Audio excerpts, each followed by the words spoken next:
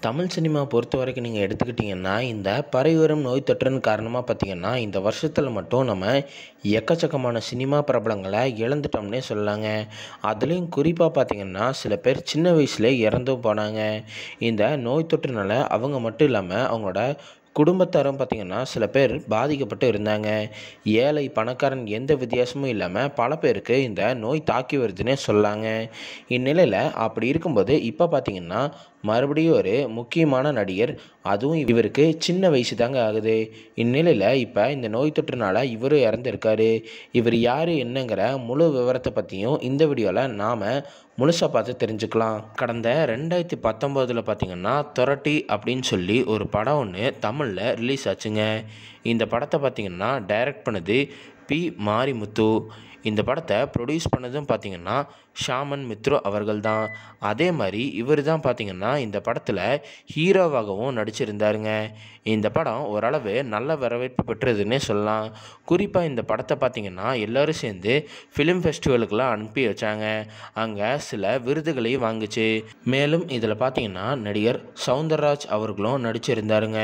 இதே மாதிரி இந்த நடிகர் பார்த்திங்கன்னா பல படங்களில் அதாவது குறிப்பாக சொல்லணும்னா கேவி ஆனந்த் கிட்ட அசிஸ்டண்ட்டாக ஒர்க் பண்ணி இருந்தாராமா இந்த தொரட்டி படத்தை பார்த்தீங்கன்னா ரிலீஸ் பண்ணுறதுக்கு ஷமன் மித்ரு அவர்கள் பார்த்தீங்கன்னா பல கஷ்டங்களை அனுபவிச்சு இருக்காருங்க ஆரம்பத்தில் பார்த்தீங்கன்னா இந்த படத்துக்கு ப்ரொடியூசர் எதுவுமே கிடைக்கல.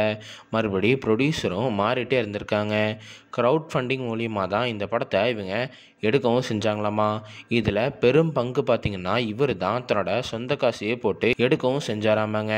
ஒரு கட்டத்துக்கு மேலே இந்த படம் நல்ல கதையை அமைஞ்சிருக்கு. கன்ஃபார்மாக இது ஹிட் ஆகும். அப்படி இல்லைன்னா நம்ம இதை எப்படியாவது ஹிட் ஆக்கணும் அப்படின்னு சொல்லி தான் இவர் முடிவெடுத்து இந்த படத்தில் ஒர்க் பண்ணவும் செஞ்சுருக்காரு. அதே மாதிரி படத்தை எல்லாம் எடுத்து முடித்ததுக்கு அப்புறம் கூட பார்த்திங்கன்னா தேட்டரில் ரிலீஸ் ஆகவும் சில பிரச்சனைகள் வந்துருக்குங்க. ஆமாங்க இந்த படத்துக்கு தேட்டர் பெருசாக ஒன்றும் கிடைக்கவே இல்லை. இருந்தாலும் பல பிரச்சனைகளை சந்தித்து படத்தை ரிலீஸ் பண்ணாங்க. அதுக்கப்புறம் பார்த்திங்கன்னா கொஞ்சமாக இதுக்கு மக்கள்கிட்ட வரவேற்பு கிடச்சிருக்குங்க. அதே மாதிரி இந்த படத்தை ஃபிலிம் ஃபெஸ்டிவலுக்கெலாம் அனுப்பி அங்கே சில விருதுகளை வாங்கிச்சு.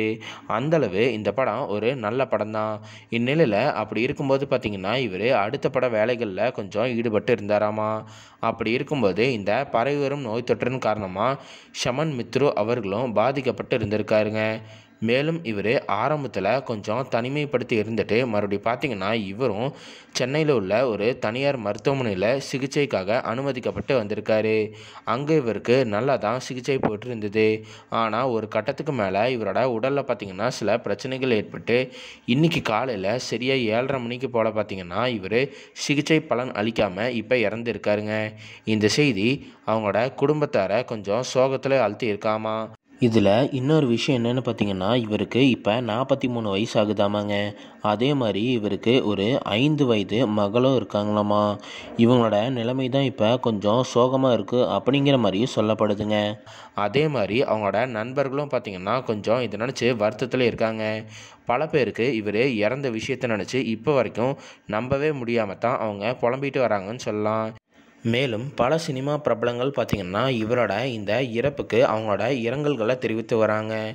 எங்களோட தமிழ் க்ரௌட் சேனல் சார்பில் நாங்களும் இவரோட இறப்புக்கு எங்களோட ஆழ்ந்த இரங்கல்களை சொல்லிக்க விரும்புகிறோம் உங்களோட கருத்து ஏதாவது இருந்தாலும் கீழே உள்ள கமெண்ட் பாக்ஸில் நீங்கள் தாராளமாக பதிவு செய்யலாம். அடுத்த வீடியோ பார்க்குறதுக்கு முன்னாடி கீழே இருக்கிற சப்ஸ்கிரைப் பட்டனை கிளிக் பண்ணி எங்கள் தமிழ் க்ரௌட் சேனலை மறக்காமல் சப்ஸ்கிரைப் பண்ணுங்கள் கூடவே பக்கத்தில் இருக்கிற பெல் ஐக்கானையும் ப்ரெஸ் பண்ணுங்கள்